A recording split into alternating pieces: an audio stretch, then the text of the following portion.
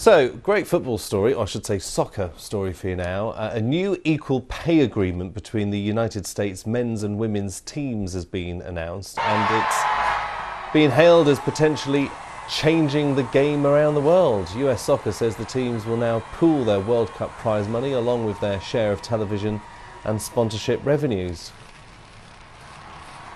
Let's uh, get more on this now. We're joined by Eric Mitchell. Eric is a sports analyst and is based in Dallas. Hi to you, Eric. Um, just give us a bit more background to how this happened. There's been a lot of campaigning by some pretty high profile people as well, some Hollywood celebrities, basically for equal pay.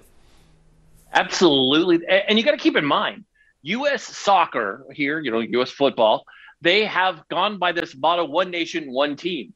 And for years, it actually wasn't equal. And now we can proudly say it actually is. They are one nation, one team, are women who I think most of us around the world, when it comes to soccer, will be able to rattle off some of the most amazing names in soccer for women from our team.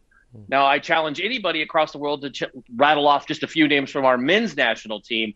This is amazing. We're celebrating this year. I think uh, this is a global accomplishment because let's face it, everyone looks at our women's team as a dominant force out there in World Cup and in the Olympics. And they deserve this pay because let's face it, they've actually won in the World Cup.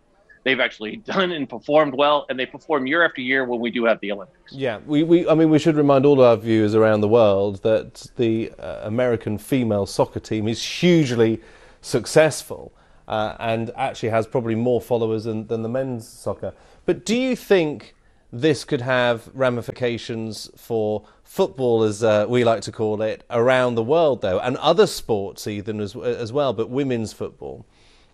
absolutely, I think this is eye-opening. Everyone, you know, everyone looks to the UK and looks to, of course, America for sports, right? When it comes to football, obviously Europe and UK lead the way, and America's catching up in the sport. But this is eye-opening because we've had struggles here in the United States with equal rights for our sports. We see it in the WNBA, right? Competing against the NBA.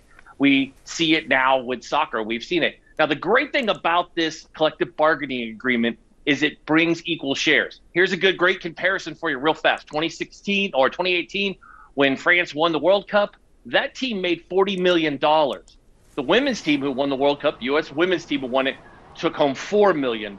You see this is now going to be able to pull that money in, and now the men's team will actually make some money also off of the women from performing well because that team always finishes in the top four. This is great around the world. It'll wake up and get everybody these equal rights. Equality in sports is what we need. Women in sports is amazing. It's great, and this is exciting for everyone out there. If you're an athlete, you should be excited for this. Uh, Eric, really good to talk to you. Eric Mitchell there speaking to us uh, from Dallas.